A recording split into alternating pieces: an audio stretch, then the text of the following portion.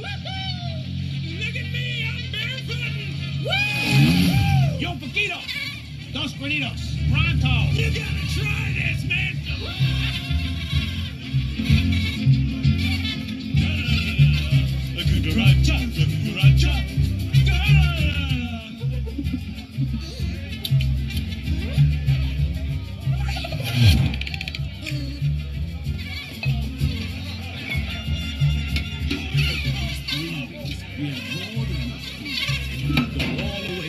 There and it starts to rain, you might as well be sucking bug spray. Ooh, don't even say that.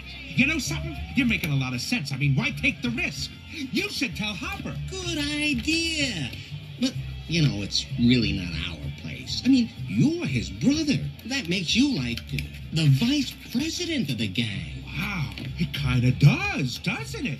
Okay, I'll tell him. Boy, I should talk to you guys more often. What if Hopper doesn't like it? Then at least the genius will get smacked, and not us. Vice President Molt. Yeah, that's good. Oh, that's good. Oh, a little lower. Yeah, lower, lower.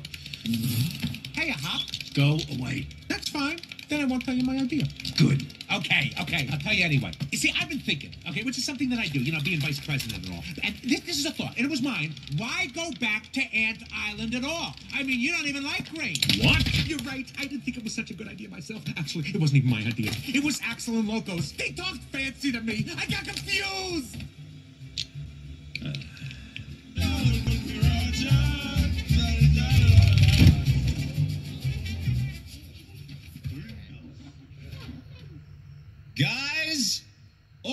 Another round because we're staying here.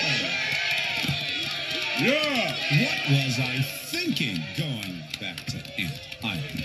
I mean, we just got here and we have more than enough food to get us through the winter, right? Why go back?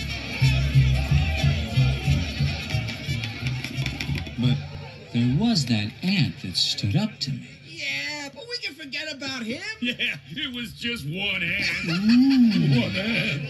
Yeah, you're right. It's just one ant. Yeah, boss. They're puny. Hmm, puny. Say, let's pretend this grain is a puny little ant. Did that hurt? Nope. Well, how about this one? Are you kidding? How about this?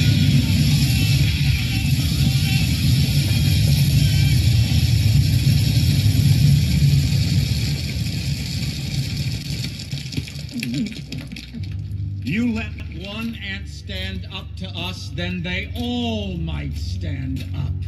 Those puny little ants outnumber us a hundred to one. And if they ever figure that out, there goes our way of life. It's not about food.